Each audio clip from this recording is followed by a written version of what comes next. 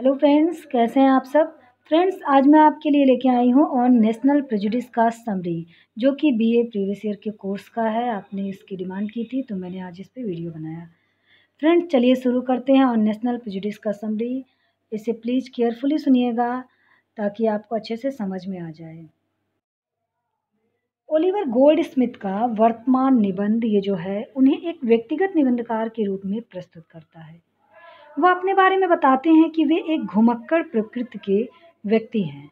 अतः वे एक स्थान से दूसरे स्थानों को जाते हैं वे शराइयों में जाते हैं कहवा घरों में जाते हैं मतलब सार्वजनिक स्थानों पर वे आते जाते रहते हैं।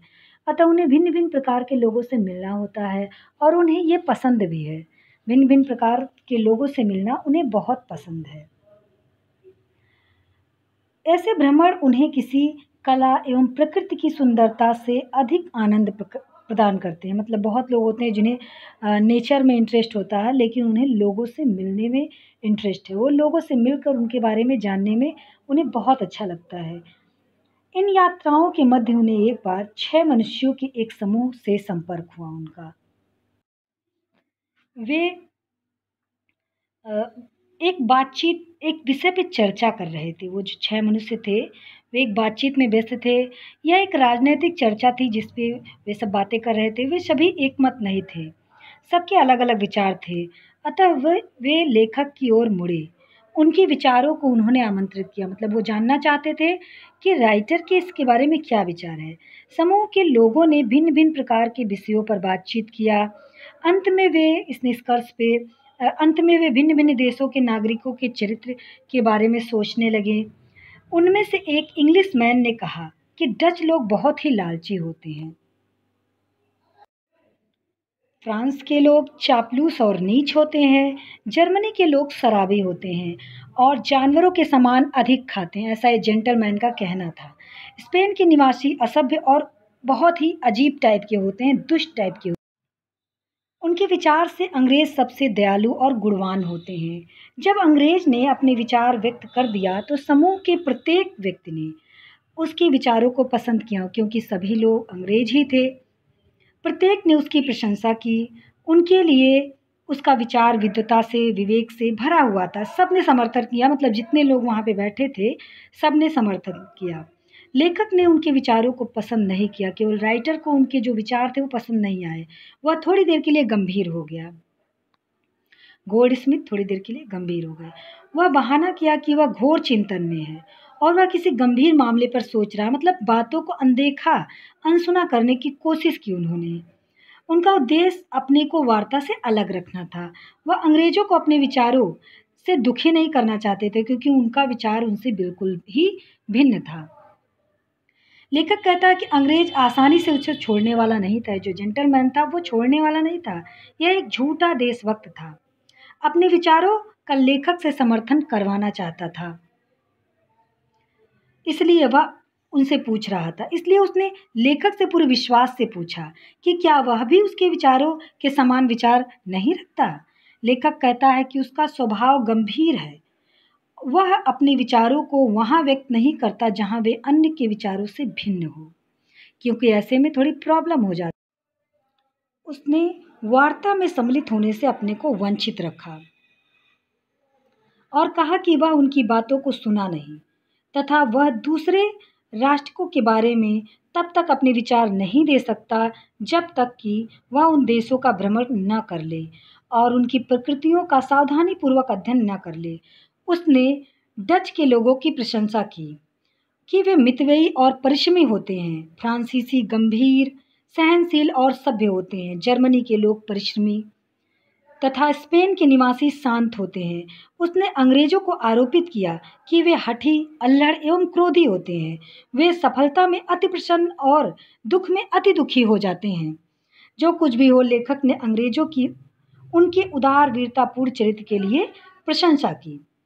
लेखक के विचार का समूह के सभी छह सदस्य निराश हो गए। वे जितने सदस्य थे, वे सब निराश हो गए। वे उससे द्वेष करने लगे, ईर्ष्या करने लगे राइटर से। अंग्रेज़ बोला कि उसे लेखक पर आश्चर्य हो रहा है। उसने आश्चर्य दिखाया कि एक इंग्लैंड का निवासी, जो अपने देश की सारी सुविधाओं को प्राप्त कर रहा है अपने देश की आलोचना कर सकता है। वे सोचने लगे कि लेखक अंग्रेज़ विरोधी है। लेखक ने सोचा कि उसने समूह की सद्भावना को अपने प्रति खो दिया है। वह सोचने लगा कि ऐसे लोगों से बात बातचीत करना व्यर्थ है, इसलिए वह अपने घर लौट आया। वह सोचने लगा कि ऐसे लोगों से बातचीत करना व्यर्थ है। संसार में लोग विभिन्न विचार रखते हैं। संसार में लोग विभिन्न प्रकार के विचार रखते हैं। ऐसे विचार मूर्खतापूर्ण, हास्यास्पद एवं दुर्भावनाओं से बिल्कुल भरे होते हैं। लेखक कहता है कि संसार में भिन्न भिन्न प्रकार की कहावतें होती हैं। वह उस दार्शनिक के विचार को अत्यंत पसंद किया उसने। जब उस दार्शनिक से पूछा गया कि आप किस देश में रहते हैं, एक पुरानी बात थी। कि एक दार्शनिक से पूछा गया कि आप किस देश से में रहते हैं तो उसने बताया कि वह विश्व का नागरिक है। उसने अपने आप को विश्व का नागरिक बताया। लेखक कहता है कि इस समय हम लोग भिन्न प्रकार के राष्ट्र के हो गए हैं। जैसे कोई अपने को डच, कोई फ्रांसीसी, कोई जर्मन, कोई स्पेन का निवासी और कोई अपने को इंग्लैंड वासी बताता है। लोग अपने को एक छोटे समूह से जोड़ते हैं। वे अपने को एक छोटे स्थान से और छोटे समाज से जोड़ते हैं। बजाय इसके कि वे अपने को उस बृहद संसार के नागरिक के नाम से पुकारें तथा अपने को संपूर्ण मानव प्रजाति का सदस्य बताएँ। लेखक कहता है कि निम्न, नीच और गुणहीन अपने मस्तिष्क में ऐसी दुर्भावनाओं को पालते हैं। यह आश्चर्य है कि जो, वे जो शिक्षित और सुसंस्कृत हैं मतलब यदि अशिक्षित हैं और यदि वे ऐसा सोचते हैं तो समझा जा सकता है कि उन्हें वो शिक्षित नहीं हैं, तब वे ऐसा कर रहे हैं। लेकिन यदि कोई शिक्षित और सुसंस्कृत है, इन दुर्भावनाओं से मुक्त नहीं है तो व्यर्थ है उसकी शिक्षा दीक्षा ऊँचे जन्म के लोगों से ऐसी आशा नहीं की जा सकती। अगर कोई व्यक्ति जो ऊँचे कुल में पैदा हुआ हो भद्र पुरुष हो, ऐसी दुर्भावनाओं को रखता हो तो वह उदार होने का दावा नहीं कर सकता है। वह बहुत ही तुच्छ और निम्न है। वह उन लोगों की श्रेणी में पड़ जाएगा जो यह कहते हैं कि जिनके पास निजी गुण नहीं होता है। वे राष्ट्र के गुणों को अपनी प्रगति का आधार बनाते हैं। मतलब अपने देश की क्वालिटी को लेकर के डेंगे हाँकते हैं, जिनका स्वयं की कोई क्वालिटी नहीं होती है। वे उन कोमल लताओं के समान होते हैं जो अपने अंदर शक्ति नहीं रखते और अपने बल पर खड़े नहीं हो सकते हैं। उन्हें एक मज़बूत ओक के वृक्ष की आवश्यकता होती है, जिससे कि वे बल प्राप्त कर सकें और विकास कर सकें। ये लताएँ पेड़ से चिपकती हैं और उसी के सहारे पनपती हैं। इस प्रकार के लोग जिसके पास अपना गुण नहीं होता, राष्ट्रीय गुणों पर अवलंबित होते हैं। लोग यह तर्क प्रस्तुत कर सकते हैं। अपने देश का प्रेम संसार के बाकी देशों के प्रति दुर्भावना रख सकता है, परंतु यह गलत अवधारणा है। हम अपने देश से प्यार कर सकते हैं और अन्य देशों से भी प्यार कर सकते हैं। लेखक अपने देश से प्यार करने को समर्थन देता है, परंतु किसी भी प्रकार से वह यह स्वीकार नहीं करता कि हम दूसरे देशों के निवासियों से नफरत करें। वह कहता है कि प्रायः अंधविश्वास और अतिशय साहस लोगों के धार्मिक मामलों में देखा जाता है। किसी वस्तु के लिए हमारा अतिशय प्रेम, साहस और उत्साह में बदल जाता है, ऐसा धार्मिक मामलों में देखा जाता है। इसके पश्चात अंधविश्वास पैदा होती है। ये वास्तविक देशभक्ति की भावना में बहुत बड़े अड़चन होते हैं। ये वड़ संकर पौधे की तरह होते हैं।